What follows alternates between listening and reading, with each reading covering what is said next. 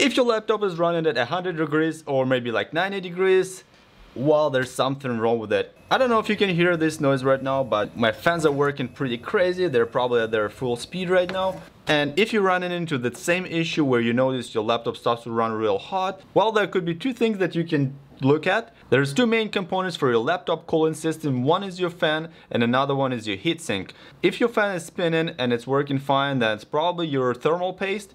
And what can happen, your thermal paste can get old or if somebody didn't apply it properly, then it may not transfer heat from the CPU to your heatsink properly, which is gonna cause it overheating and it's gonna tell your computer that you need to bump up the speed of the fan, which is gonna cause a really lot of noise and it's still not gonna cool it down properly because the thermal paste is not transferring the heat from the CPU, so basically the CPU doesn't get cooled at all. This is a big issue because it's gonna affect the longevity of your CPU and your laptop laptop overall. So you want to make sure you keep an eye on that. I'm going to show you how you can actually check the CPU temperature and other temperatures. If you notice that it rises about like 80 degrees Celsius, that's pretty much as high as you want it to get on your laptop because anything about that is actually reaching to your CPU temperature limit. So let's go ahead and pull it apart right now. And if you're new to the channel, take a second to click that subscribe button. Also, if you find this video helpful, give it a like and smash the notification bell so you don't miss new videos. I appreciate you guys very much and let's go. To see the temperature reading from the sensors, I'm using the AIDA64 program and it shows you all the temperatures from the sensor and as you can see even under no load at all, the temperature sits pretty high and this is due to the poor heat transfer from the CPU to the heatsink so let's go ahead and see how it's gonna perform under load and we're gonna be using the Cinebench R23 for the CPU testing. Okay, so let's go ahead and start the Cinebench R23 testing program and we're gonna be using the CPU multi-core test to apply the maximum load on the CPU to see how hot it's gonna get. I won't be showing you the full process of testing it because it's taking over 15 minutes, but as you can see that the maximum temperature the CPU has reached is 100 degrees Celsius, which is basically the upper temperature limit for any CPUs, and you don't want to have your laptop running at these temperatures. After the test has finished, our CPU has scored 1042 points at the multi-core test and we're gonna compare it to the test afterwards when we change the thermal paste. Before disassembling the laptop, make sure you unplug it, shut down the operating system and get started. So for this job we're gonna need some general toolkit with a screwdriver and we're also gonna need the thermal paste. I just bought this Arctic MX4 thermal paste and we're also gonna need the thermal pads. These are the one millimeter thick. There are also options available of half a millimeter and one and a half millimeter. So make sure when you disassemble it you just measure it and see which ones you have there and install the same ones. Let's first unplug the mouth and Bluetooth USB adapters. This particular laptop has a pretty simple setup all we're gonna need is just a Phillip head screwdriver and there's just gonna be 11 Phillip head screws that we're gonna need to take out to disassemble the back cover. So pretty straightforward. I'm just gonna fast forward the footage so we can save some time. I'm gonna show you a little life hack. If you can get out the screw, you can use a small magnet and just apply it to the screwdriver and it's gonna magnetize the screwdriver and it will be a lot easier to pull out the screw that is stuck in the hole.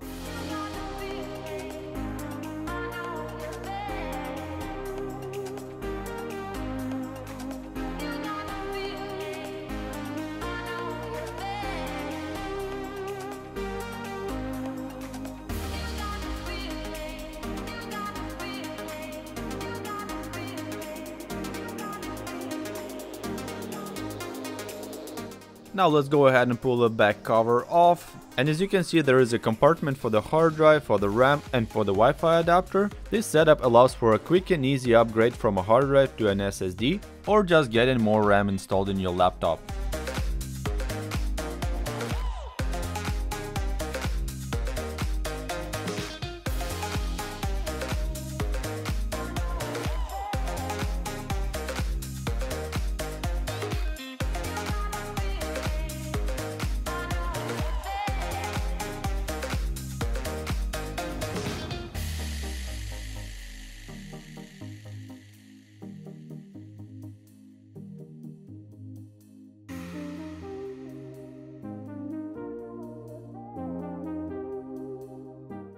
And just a quick tip, computer memory of different generations have a notch in different spots, so you're not gonna mix it up. You can mix and match DDR4 with DDR3. So this is gonna be pretty simple.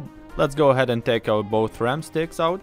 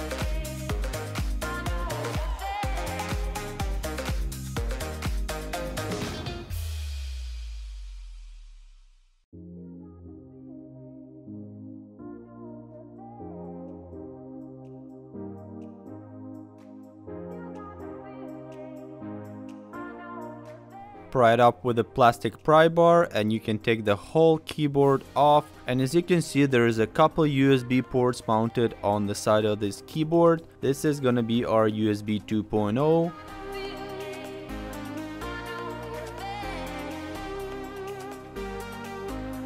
remove the ancient DVD drive. Most new computers don't even have that and many people probably don't even know what it's for but this is used to be for reading DVD discs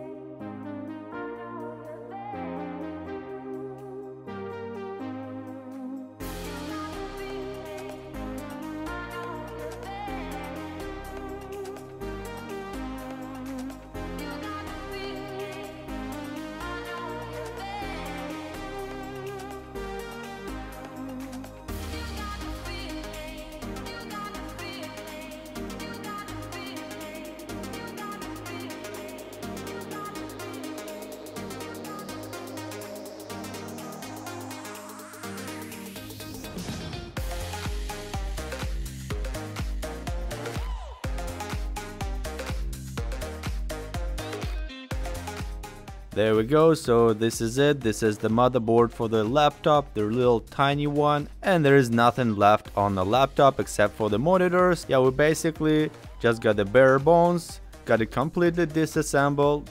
Now let's go ahead and remove the heatsink. Some of the laptops don't have such a big heatsink because they don't have a dedicated GPU like this one does. When you have a dedicated GPU, you're gonna have an extra heatsink extending to the GPU as well as the CPU. So let's go ahead and remove this. There's six bolts and they're all marked. So you have to just go in the certain pattern and start with the number six, go to the number five and so on. And when you're going to be assembling, you just got to go in reverse order.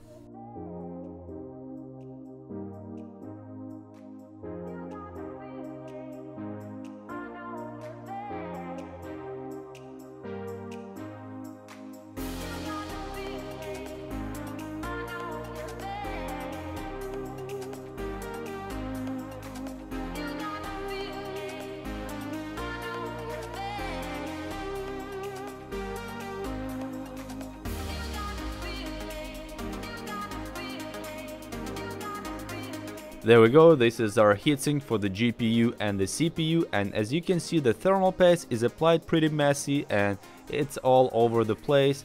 And this is how it was applied at the factory, so hopefully we can do a better job next time we do it. And the thermal pads are all wore out. You can see how they're falling apart and they don't stick anymore. And they're probably not transferring heat anymore as well. So let's go ahead and remove all the residue of the thermal pads and clean up the messy thermal paste that we have there. And then we're gonna put the new proper thermal paste on the CPU and GPU and also apply new thermal pads as well.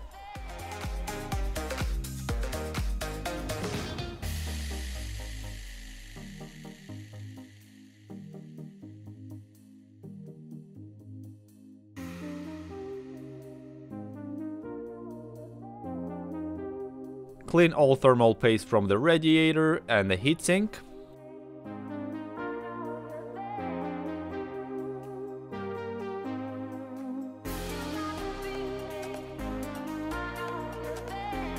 Case you would like to change the processor, all you gotta do is just turn this lock over here from the lock position into the unlock position. And then you can pull up this, pull out this processor so this is your processor chip that, it, that is installed on your laptop. And this one actually does look like an AMD processor, not like an Intel, because Intel usually has the this connector legs on the socket itself. AMD usually has it right on the chip, so yeah, this is kind of weird, but I guess that's what they have for the mobile processors.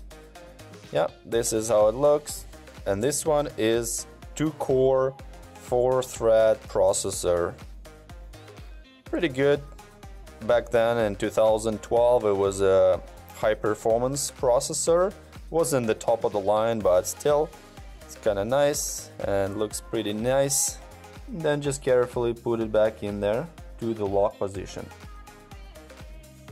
Remove all thermal pads from the heatsink and as you see they look pretty old and they are not sticky anymore.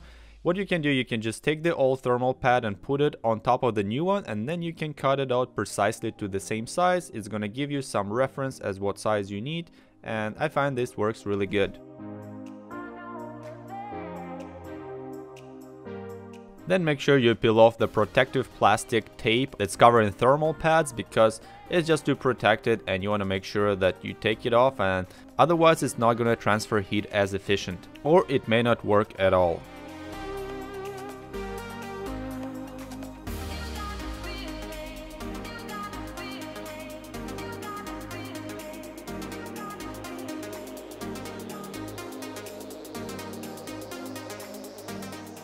Alright, so now it's time to put new thermal paste and I'm using Arctic MX4. This is a really good thermal paste, it's got good thermal efficiency, so let's go ahead and put it on.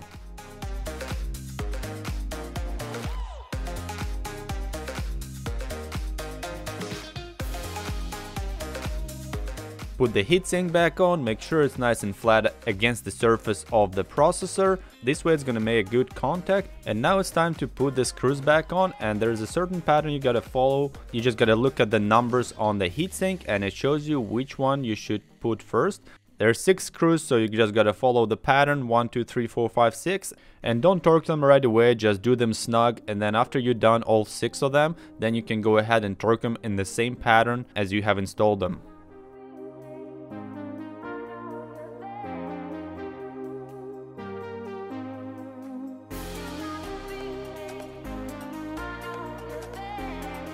Once the heatsink is back on and you have torqued all the screws, you can inspect and make sure there is no gaps between the chips on the motherboard and the heatsink. This way it's gonna transfer heat efficiently, so this is what you wanna achieve.